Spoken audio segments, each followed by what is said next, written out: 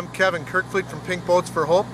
We're down here at the Ranger Boat Plant doing the product tour and we're also down here supporting the Baxter Regional Medical Center and their one in the country mobile 3D mammography unit, uh, making sure that we bring breast cancer awareness, the de detection, the early detection, and the uh, continued awareness and making sure you're doing the right things early enough so you can beat breast cancer should it happen in your in your life.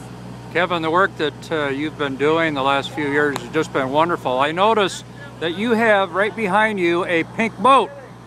It's a pink Ranger, folks. I'm gonna let you look at it here. We got the sun over our shoulder. Kevin, what's the story behind your pink wrapped Ranger boat? Uh, last time we were down here was in 2009 doing the product tour as well.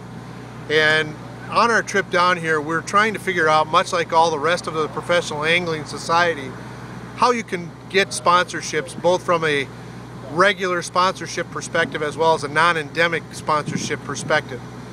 And we wanted to do something a little bit different as well as supporting a foundation that is outside of the normal uh, realm of, of professional angling. What better way to do it with breast cancer awareness? Yeah. And we, and we started with breast cancer. Uh, the pink boats have been around now for two years. Uh, they've been very well received.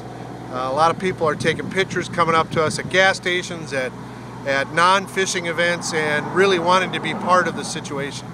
Well, it's great the work that you've been doing, and uh, I appreciate your taking the time here before we get started this afternoon with the, the Ranger Factory stuff.